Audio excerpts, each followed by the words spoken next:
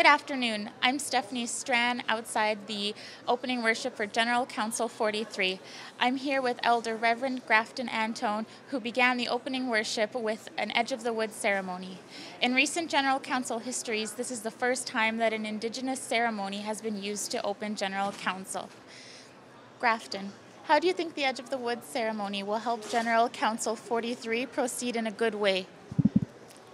Well, I believe that the uh, ceremony by First Nations people um, being included in the church in every aspect, um, I'm glad to be uh, the first one, I guess, that to do the Aboriginal ceremony.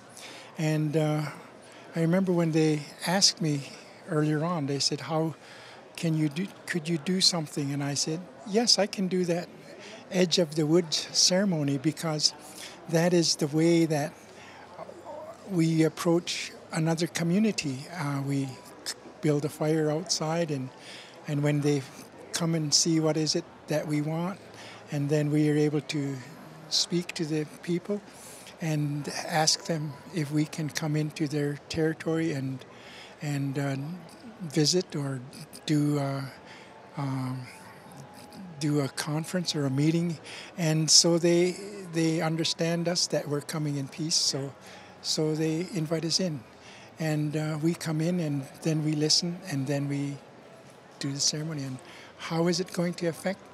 I look I look at Aboriginal ceremonies as being necessary for the church to to learn and to take on and to hear our Aboriginal languages in our own voices to be part of the church's um, new direction. And uh, where uh, the calls to action by the Truth and Reconciliation Commission uh, asks the education uh, education people to change their curriculum to include Aboriginal languages, and so in a way, this applies to, to the church to to a, to a, to have Aboriginal languages in all parts of our our meetings.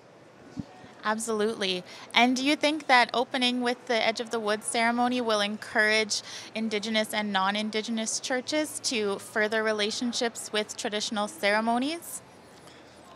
Where I see the uh, ceremony coming into um, uh, being positively received is that it will encourage uh, other Aboriginal peoples to uh, discover or bring out their opening ceremonies and uh, be able to uh, teach the church more of our ways and whichever whichever uh, First Nation uh, territory that is involved, their languages will will be primary that's that's my hope, anyways. It was a wonderful way to start General Council 43, Chi-miigwech Grafton. Thank you. Yeah, welcome. Yeah, welcome.